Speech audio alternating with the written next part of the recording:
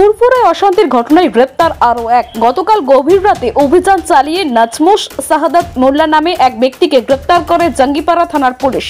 ধৃতের বাড়ি দক্ষিণ চব্বিশ পরগনার জীবনতলায়। কাশেম সিদ্দিকের দোকান চালাতেন ওই ব্যক্তি। অশান্তির ঘটনায় এর আগে যাদের ধরা হয়েছিল তাদের জিজ্ঞাসাবাদ করে এই ব্যক্তির সন্ধান পাওয়া গেছে বলে পুলিশ সূত্রে খবর।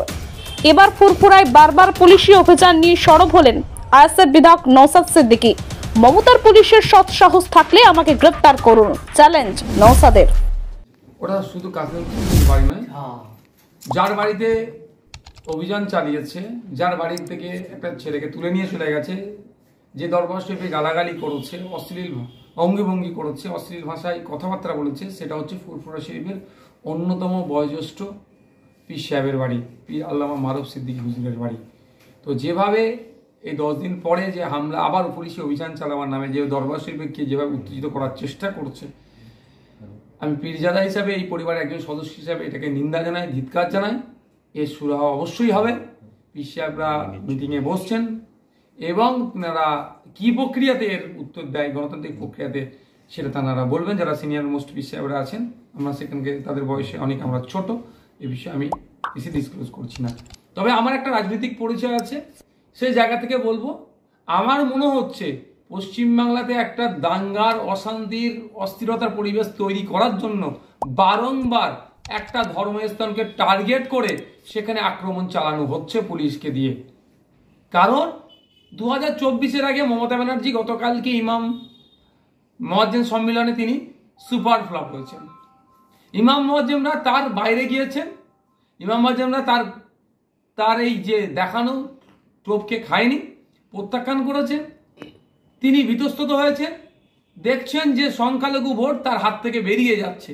কখনো সাগর দিয়ে নির্বাচন, তো কখনো আপনার পঞ্চায়েত নির্বাচনে। তিনি লক্ষ্য করেছেন যে তার পাশে আর সংখ্যালঘু ভোট থাকছে না।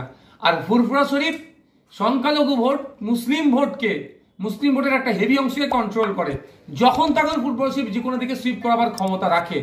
সেই জন্য সর্বপ্রথম ফুরফুরা শরীফকে টার্গেট তারা করেছেন এই জন্য টার্গেট করেছেন ফুরফুরা শরীফকে যদি আক্রান্ত করে দেওয়া যায়, ফুরফুরা শরীফকে যদি ইনঅ্যাক্টিভ করে দেওয়া যায়, ফুরফুরা শরীফকে যদি বিতস্ত করে দেওয়া যায়, ফুরফুরা শরীফকে যদি আত্মসমর্পণ করিয়ে দেওয়া যায় শাসকের কাছে, বাকি ছোট ছোট যে সমস্ত দরবার আছে বা যারা আছেন অ্যাক্টিভিস্ট তাদেরকে অনায়াসেই মুড়িয়ে মুড়িয়ে দেওয়া যাবে।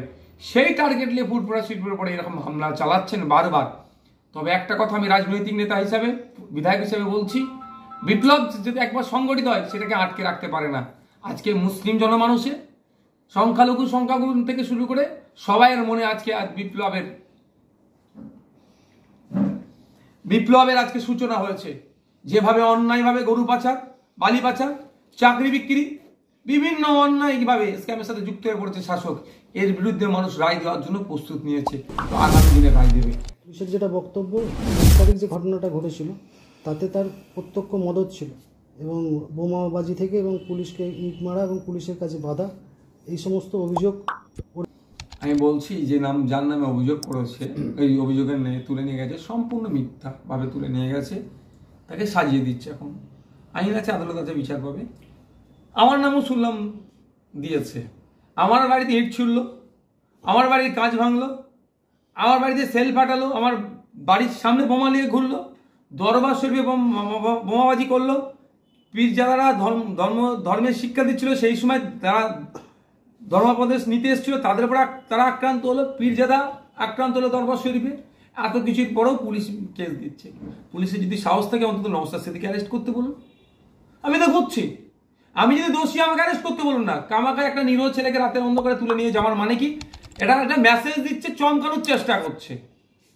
মমতা ব্যানার্জি পুলিশের যদি সৎ সাহস থাকে, আমি তো বিধানসভা যাচ্ছি, আসছি। আমাকে অ্যারেস্ট করতে বলুন না। করুক আমাকে অ্যারেস্ট আমি যদি অনৈতিক কাজের সাথে যুক্ত থাকি, বা পিস যারা যদি যুক্ত থাকে, কাউকে অ্যারেস্ট করতে বলুন। টোটালি প্রেশার বিল্ড আপ করা হচ্ছে, ভয় দেখানো হচ্ছে, চমকানো হচ্ছে। আপনাদের জানিয়ে রাখি, এনআরসি, সিএএন যখন আন্দোলন হচ্ছিল, একটা রাতে পশ্চিমবাংলার প্রায় দুশোর ওপরে মুসলিম নেতাদের বাড়িতে এই মুখ্যমন্ত্রী পুলিশ পার্টি অত্যাচার করেছিল, যেটা আমাদের বাড়িতে হয়েছিল। সেই মুখ্যমন্ত্রীকে আমরা ভুলে যাইনি। সেই মুখ্যমন্ত্রী দেখছেন দু হাজার চব্বিশে তার অবস্থা রাজনৈতিকভাবে খারাপ হতে চলেছে। তার ভাইপোকে বাঁচাতে পারবেন হার থেকে। ডায়মন্ড হারবারে হার থেকে তার ভাইপোকে কোনোভাবেই বাঁচাতে পারবে না, হারবে। সেই জন্যই ভয়ে এখন ফুরফুরা শরীফের পেশার বিল লাভ করছে। ফুরফুরা শরীফকে আত্মসমর্পণ করতে বাধ্য করানোর জায়গা নিয়ে যাওয়ার চেষ্টা করছে। ফুরফুরা শরীফ বা আপনাদের পীর সাহেবদের মমতা ব্যানার্জি কি প্রকারান্তরে ভয় পাচ্ছে?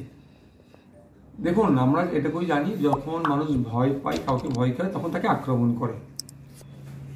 নিশ্চিতভাবে ফুরফুরা শিবের যে শক্তি আছে ফুরফুরা শিবের ভোটারদেরকে মোটিভেট করার জন্য সুইপ করার জন্য যে ক্ষমতাটা আছে, যে শক্তিটা আছে, সেই শক্তি দিয়েই তো মমতা ব্যানার্জি ক্ষমতায় এসেছিলেন। সেই জন্য এখন ভয় পাচ্ছে, এই শক্তি যদি মমতা ব্যানার্জির বিপক্ষে চলে যায়, তাহলে তিনি হেরে যাবেন চেয়ার তিনি আর হাতছাড়া হবে, সেই জন্য এখন থেকে তিনি এই প্রস্তুতি নিচ্ছেন। তবে একটা কথা, এখন তো নওসাদ সিদ্দিকী একা রাজনীতির ময়দানে এসেছে। তবে যে অন্যায় করছেন পুলিশকে দিয়ে মমতা ব্যানার্জি সরকার, এই অন্যায় যদি চলতে থাকে, আগামী দিনে একাধিক পিস সাহেব পিরজাদাকে দেখবেন রাজনীতির ময়দানে হয়তো তারা এসেছেন। এবং মমতা ব্যানার্জির এই ফ্যাসিস্ট চিন্তা ভাবনা পুলিশকে লেলিয়ে দিয়ে ক্ষমতা দখল করার এই ফ্যাসিস্ট চিন্তা ভাবনা তারা প্রতিহত করবে। বলতে চাই আমি, ফুরফুরা শরীফের রাজনৈতিকভাবে কতটা সচেতন বা ভোটের দিক দিয়ে ফুরফুরা শরীফের কতটা ক্ষমতা, তিনি ভালো করে জানেন তিনার ক্ষমতায় আসার আগে ফুরফুরা শিবের অবদান বা ক্ষমতায় আসার জন্য ফুরফুরা শিবের কি কি অবদান ছিল, ভোটকে সুইপ করাতে ফুরফুরা শিবের কি ভূমিকা ছিল তিনি ভালো করে জানেন, সেই জায়গাটা এখনও আছে। বলব ফুরফুরা শিবের সাথে লাগতে যাবেন না, কারণ ফুরফুরা শিব যে কোনো মুহূর্তে আপনাকে গতিচ্যুত করতে প্রস্তুত আছে। যদি তাদের সাথে লাগতে চান ফুরফুরা শিবের পীর সাহেব, পীরজাদা যারা আছেন, হয়তো আমি রাজনীতিতে এসেছি, বাকি কেউ রাজনীতিতে নাই যারা নাই তাদেরকে খাটাবেন না। তারাও যদি আমার মতো রাজনীতিতে চলে আসে তাহলে আর ডবল ডিজিট সংখ্যা পার হতে হবে না। দু হাজার চব্বিশে আমি শেষে গিয়ে একদম পৌঁছেছি দীর্ঘক্ষণ ধরে মিটিং হয়েছে। দেখুন ব্যাপারটা হচ্ছে আমি একজন এই পরিবারের সদস্য। বয়সে অনেক নবীন আমি। সিনিয়ররা যেটা পরামর্শ দেবেন যেটা বলবে সেটা আমাকে করতে বাধ্য। তবে যে ঘটনা ঘটিয়েছে গত রাত্রিরে বা বিগত দিনে থেকে ঘটে আসছে দিৎকার জানাই নিন্দা জানাই। আমাদের সিনিয়র যারা আছেন, যেটা বলবেন সেটা মেনে নিতে হবে।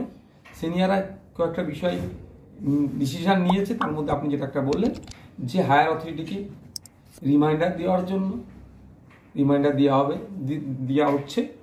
তারা যেটা বলবেন পিডি সাহেব বাড়ি থেকে যেটা আদেশ দেবেন, সেটা আমি মানতে বাধ্য। আমি আমার রাজনৈতিকভাবে যেখানে যেখানে যা করার, আমি সেটা করে যাচ্ছি।